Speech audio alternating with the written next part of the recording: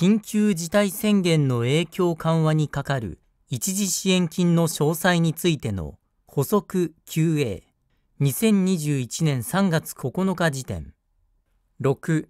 対象、人流一般。質問。宣言地域外の事業者であり、かつ旅行関連事業者に該当しない事業者で、緊急事態宣言の影響緩和にかかる一時支援金の詳細についての7ページの C に記載の保存書類を準備することが困難な場合に、B に記載の2016年以降の旅行客の5割以上が宣言地域内から来訪している市町村等であることがわかる V リーサス等の統計データを保存書類の代替書類として認めてもらえないでしょうか。回答。